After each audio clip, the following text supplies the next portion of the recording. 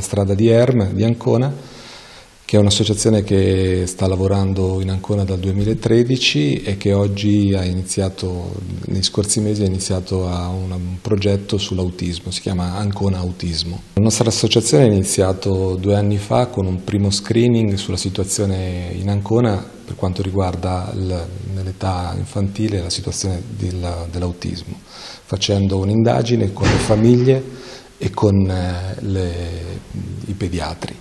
Dopo questa prima fase di valutazione è iniziata una, una, fase di formazione che si cerca di attuare in questo periodo in cui andiamo ad incontrare i pediatri e, e gli educatori negli asili nido per cercare di, di, far conoscere quelli che sono gli indicatori importanti che fanno capire se un bambino può essere eh, affetto da questa sindrome eh, dell'autismo. Sabato 21 aprile alle 9.30 eh, ci sarà un concerto appunto eh, per beneficenza alla strada di Erme e, mh, mm, appunto perché eh, volevamo eh, il ricavato eh, darlo in donazione a, a, questo istituto, sembrava una, una causa giusta e nobile.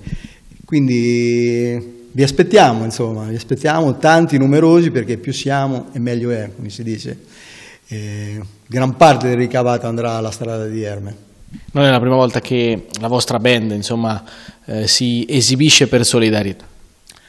No, noi abbiamo fatto anche altri concerti, abbiamo fatto anche della beneficenza alla scuola di Arquata del Tronto, portando degli strumenti ai bambini. Il ricavato di questo concerto ci servirà per attrezzare una stanza all'interno del nostro centro dove saranno utilizzate tecnologie e applicazioni specifiche per la riabilitazione della comunicazione e applicazioni che serviranno comunque per migliorare la qualità della vita delle persone con autismo.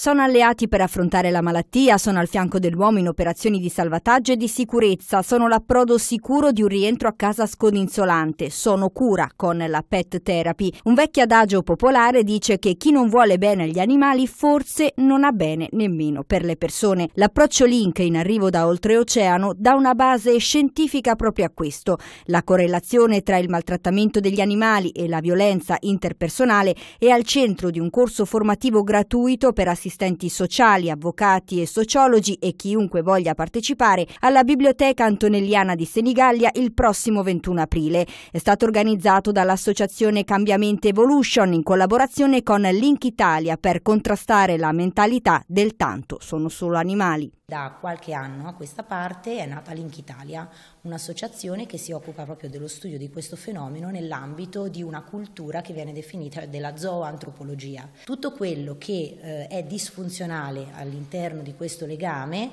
ehm, riguarda una branca della zooantropologia che prende il nome di zooantropologia della devianza, dove l'animale diventa un oggetto eh, su cui sfogare in maniera assolutamente errata ogni forma di violenza, aggressività. Potrebbe essere una spia di una tendenza eh, a comportamenti eh, violenti a livello interpersonale e quindi proprio l'espressione di una condizione esistenziale eh, disfunzionale, patologica, disagiata, non solo come grave reato in sé, ma proprio come eh, indice di un comportamento violento tra le persone.